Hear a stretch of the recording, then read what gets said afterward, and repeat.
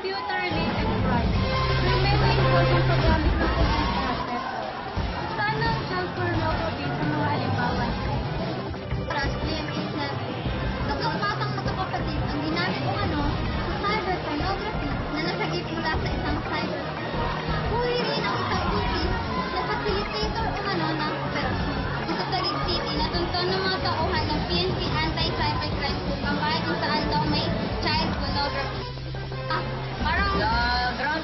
floor, nadatnan ng mga lalaki at babae kasama ang kanilang mga anak na nanonood ng pelikula. Second floor, na, tum- tumambad ang tatlong minor de edad na bata. Ginagawa libangan sa mga bata ang pag- pagpapanood ng mga cartoon upang hindi mag-iiyak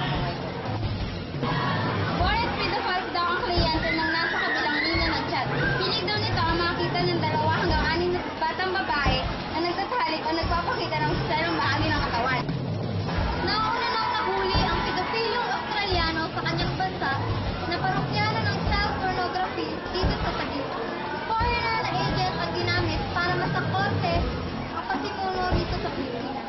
Ang tumayo facilitator ng cyber sex